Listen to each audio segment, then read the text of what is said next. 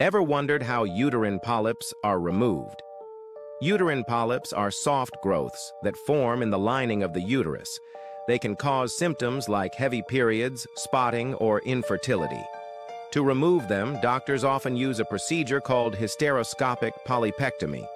It starts with giving local or general anesthesia to keep the patient comfortable. Then, a thin lighted tube, called a hysteroscope, is gently inserted into the uterus.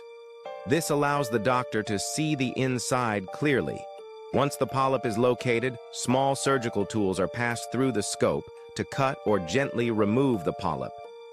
The procedure is usually quick and doesn't require any cuts or stitches. Most patients go home the same day and recover within a few days, and that's how uterine polyps are removed. Safe, simple, and effective for restoring uterine health.